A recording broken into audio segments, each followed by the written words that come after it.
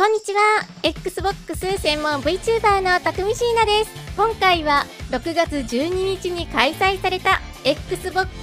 ゲームショーケーススターフィールドダイレクトで発表された新タイトルの情報を発売日順に並び替えてご紹介します。ぜひ最後まで見てね。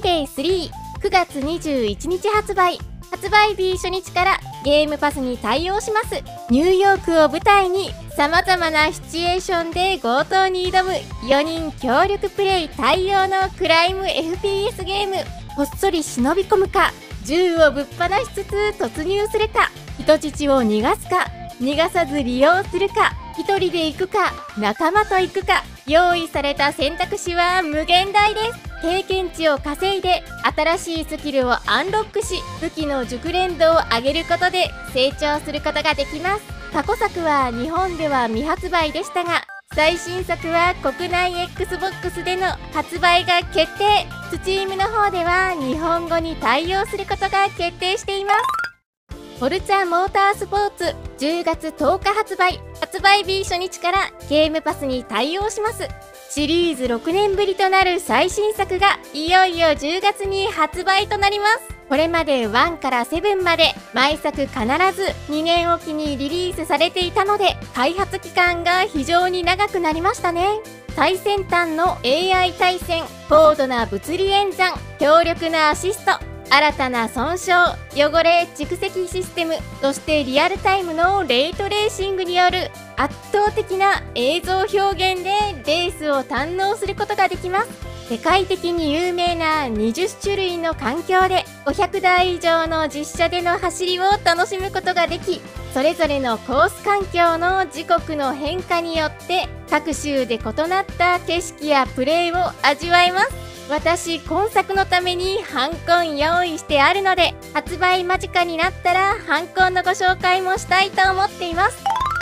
シティーズスカイライン2 10月24日発売。発売日初日からゲームパスに対応します。本作は史上最高にリアルな都市建設ゲームとなっていて都市をゼロから育て活気あるメトロポリスに変貌させていくことができます。創造性と問題解決能力を発揮して風前のスケールで街を建設し奥深いシミュレーションと実感的な経済そして無限の自由度を備えた世界を堪能することができます。Steam の方では日本語に対応することが決まっています。ペルソナ5タクティカ11月17日発売。発売日初日からゲームパスに対応します。デフォルメされたペルソナ5のキャラクターたちが出演するペルソナシリーズ初となるシミュレーション RPG ゲームです。おなじみのメンバーから3人のパーティーを編成し攻撃で敵のダウンを取ればワンモアが発動できたり総攻撃アクションがあったりとペルソナ5本編のバトルシステムをうまく取り入れた作品となっています。クラウドでスマホで気軽に遊べそうな感じでとってもいいですね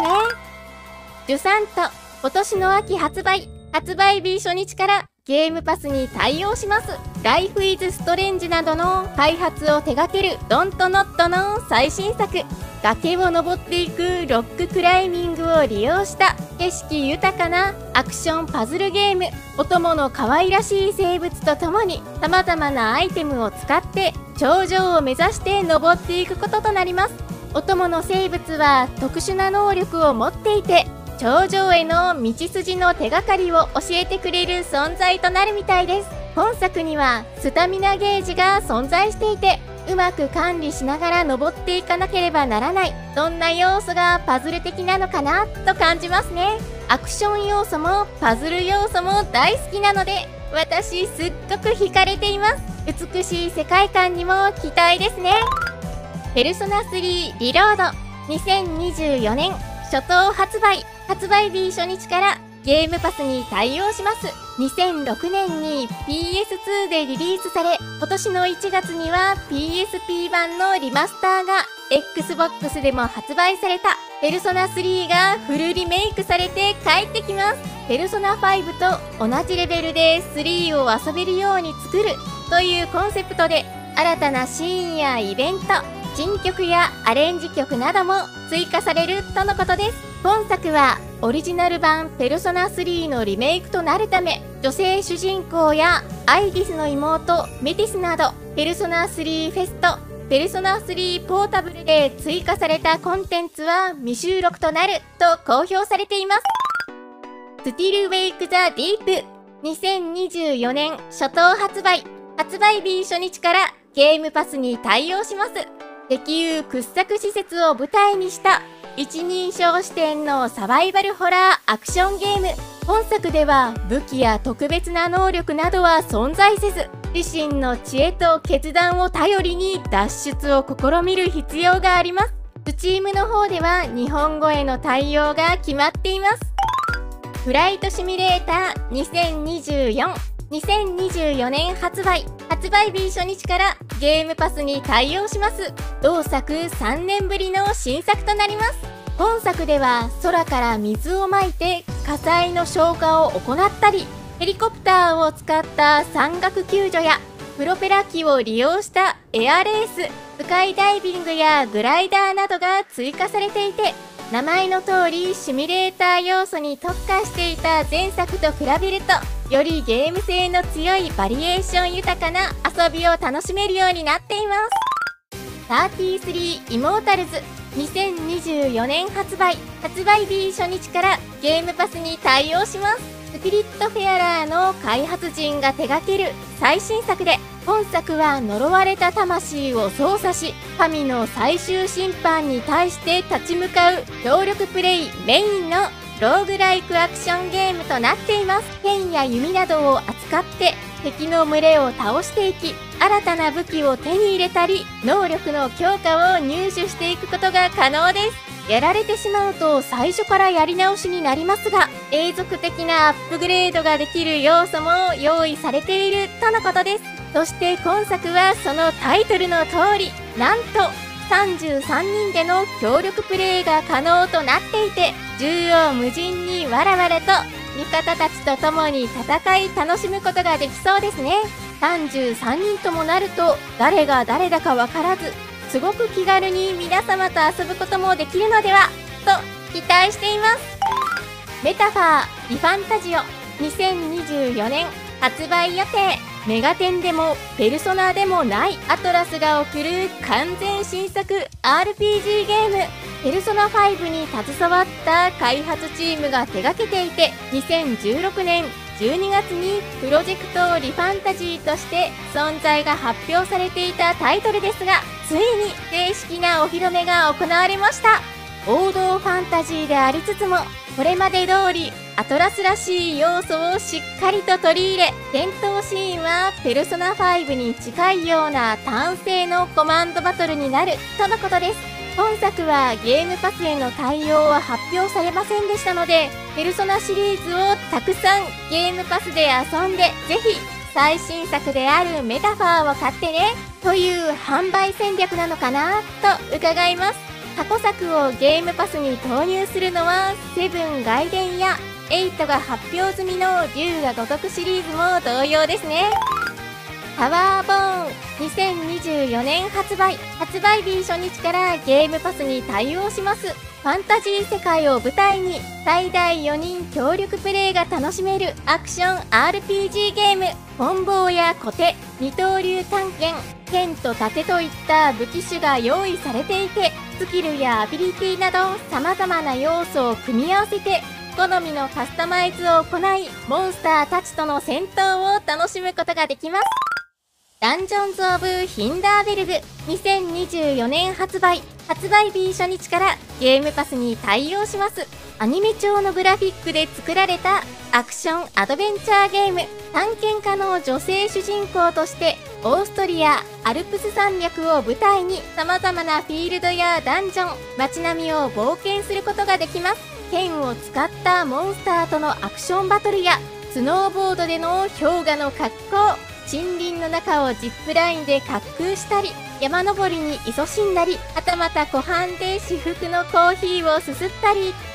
と激しいアクションもまったりとした旅も楽しむことができますスチームの方では日本語への対応が決定しています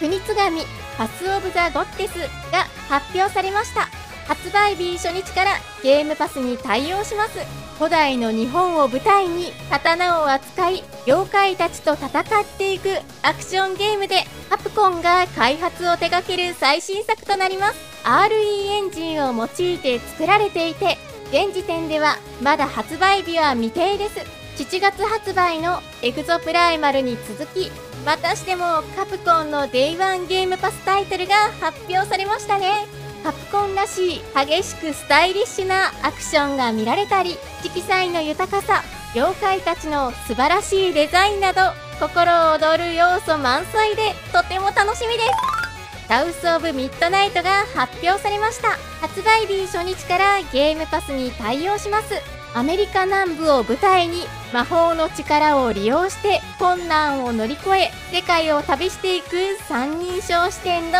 アクションアドベンチャーゲーム。現時点では発売日は未定で詳しいゲーム内容についても明かされていません。